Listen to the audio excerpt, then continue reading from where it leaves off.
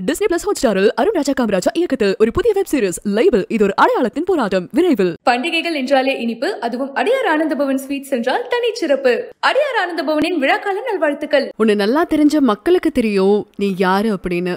நீ யாருக்குமே நீ நல்லவன் தான் அப்படின்னு ப்ரூவ் பண்ண தேவையில்லை அப்படின்னு சொல்லி ஃபர்ஸ்ட் டைம் பிரதீப் ஆண்டனிக்கு ரெட் கார்டு கொடுத்து வெளியே அனுப்பினதுக்கு அப்புறமா ஆக்டர் கவின் தன்னுடைய க்ளோஸ் ஃப்ரெண்டான பிரதீப் ஆண்டனியை பத்தி ஃபர்ஸ்ட் நபராக ரியாக்ட் பண்ணிருக்காரு. அண்ட் இதுக்கு முன்னாடி கூட என்னுடைய ஃப்ரெண்ட் எனக்காக என்ன பண்ணுவான் அப்படின்னு ரொம்ப நல்லா தெரியும். அவன் எனக்கு நல்லது மட்டும்தான் செய்வான் அப்படின்ற லெவலுக்கு பிரதீப்பை நம்பக்கூடிய ஒரு பர்சன் அப்படின்னா அது கவின் மட்டும்தான். பிக் பாஸ் சீசன் செவன்ல ஒன் ஆஃப் தி கண்டஸ்டன்டாவும் ஸ்ட்ராங்கான பிளேயராகவும் இருந்தவர் தான் பிரதீப் வந்து. ஸோ பிரதீப் ஆண்டனி ஆரம்ப காலகட்டத்தில் நல்லா ப்ரைஸ் பண்ணி பார்க்கப்பட்டாலும் அதுக்கப்புறமா போக போக அவர் மென்டலி பயங்கரமா அஃபெக்ட் ஆகிட்டாரு. ஒருத்தருக்கு ரெட் கார்டு கொடுத்து வெளியே அனுப்புறது ஒரு பக்கம் இருந்தாலும் ஒருத்தருக்கு எதிரா ஒரு கருத்தை எடுத்து வைக்கும்போது பெண்களுக்கு பாதுகாப்பு இல்லை அப்படின்னு ஒரு நபரை நீங்க குற்றம் சாட்டுறீங்களே அது வந்து such an unfair eviction Pradeep ஆண்டனிக்கு நேத்திக்கு பாத்தீங்கன்னா கமல் சார் ரெட் கார்டு கொடுத்து வெளியே அனுப்பிட்டாரு. கமல் சார் மட்டும் இல்ல அந்த வீட்டில் இருக்கிற மெஜாரிட்டி மெம்பர்ஸ் பாத்தீங்கன்னா அவருக்கு ரெட் கார்டு கொடுத்து வெளியே அனுப்பணும் அப்படின்னு சொல்லி ஆல்ரெடி முடிவே பண்ணிட்டாங்க.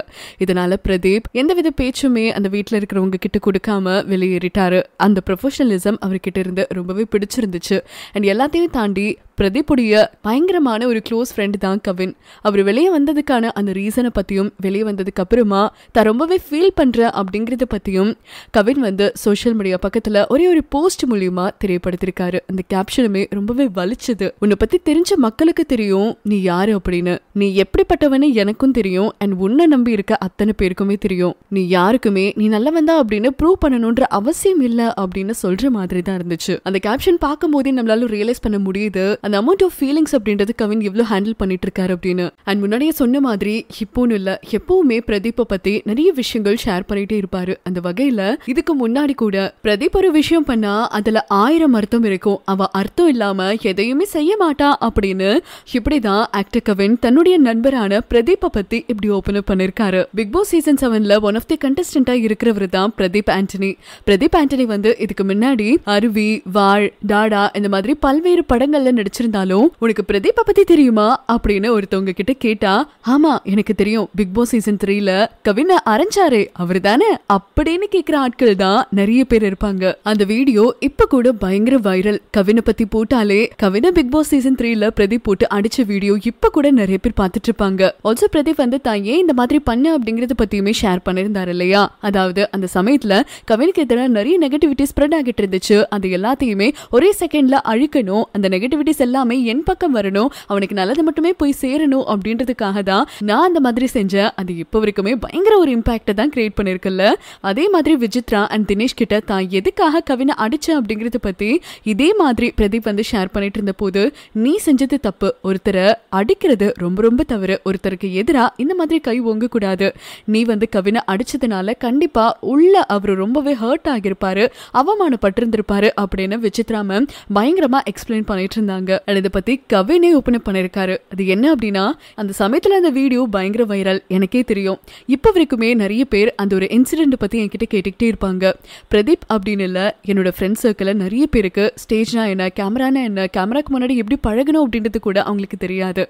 ஸோ இதனாலேயே எல்லாருமே ரொம்ப சகஜமாகவும் இயல்பாகவும் இருப்பாங்க. அதுதான் எனக்குமே பிடிக்கும். என்னோட நண்பரான பிரதீப் ஒரு விஷயத்த பண்ணணும் அப்படின்னு நினச்சான்னா அதில் ஒரு அர்த்தம் இல்லாமல் பண்ண மாட்டான். அதே மாதிரி தான் அந்த ஒரு விஷயத்தையுமே எனக்காக பண்ணா. என்னோட நண்பன் எனக்குமே எனக்கு நல்லது மட்டும்தான் டிசைட் பண்ணி ஒவ்வொரு விஷயங்களுமே பண்ணுவான். அவன் என்னைக்குமே எனக்கு கெட்டது நினைக்கவே மாட்டான். ஈவன் அவன் வீட்டுக்கு வந்தப்போ கூட என்கிட்ட பேசிட்டே இருக்கும்போது நாங்க ரெண்டு பேரும் ஈவன் ரெஸ்ட் ரூம்குள்ள போய் பேசிட்டு இருக்கும்போது கூட பிரதீப் என்கிட்ட கேட்டான் எனக்கு உன்னை அரையணும் போல இருக்கு அப்படின்னு. அதனால தான் லிவிங் ரூம்ல வச்சு எல்லார் முன்னாடியுமே அவன் என்ன அரைஞ்சான் அந்த அறை எதுக்காக கொடுத்தான் அப்படின்னு எனக்கு ரொம்ப நல்லாவே தெரியும். அது அவனுக்குமே தெரியும். எங்க ரெண்டு பேருக்குள்ள ஒரு பர்சனல் கனெக்ட் இருக்கு. அவன் என்ன சொல்ல வரானோ அது எனக்கு ரொம்பவே நல்லா புரியும். என்னோட நல்லதுக்காக தான் அவன் அந்த மாதிரி பண்ணான் அண்ட் எப்பவுமே எனக்காக கெட்டது செய்ய மாட்டான் அப்படின்னு தன்னுடைய ஃப்ரெண்டான பிரதீப்பை பத்தி பேசின இந்த ஒரு ஓல்டு வீடியோ தான் இப்போ வைரல் ஆகிட்டு வந்துட்டு இருக்கு கவின் இதை டாடா படத்தோடைய ப்ரொமோஷன்ல ஷேர் பண்ணிருந்திருக்காரு.